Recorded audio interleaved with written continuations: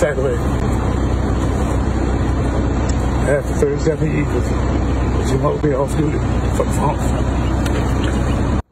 uh-huh, that's Master Trooper Al Allen signing off for the last time Friday as he heads into retirement. Look, he's already got his retirement outfit oh, on. Oh, yeah, he does. State Police thanked him for all those decades of service to the Commonwealth. Yeah, it's great. You can tell him how much that meant to him for sure. I So that moment was that a heavy one for him. would be so hard to do. I know I wouldn't be able to do is it. a long time, that's for sure.